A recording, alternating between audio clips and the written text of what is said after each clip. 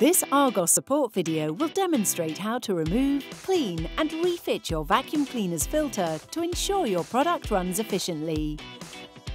Not cleaning the filter frequently is often the cause of problems with your machine. Firstly, ensure the product is unplugged. Release the dirt container, then detach the filters. Tap the filters over a bin to remove any dirt or debris.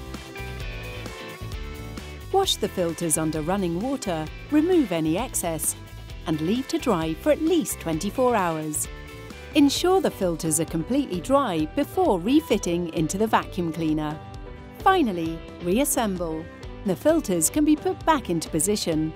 Following these simple steps on a monthly basis will help to prolong the life of your machine.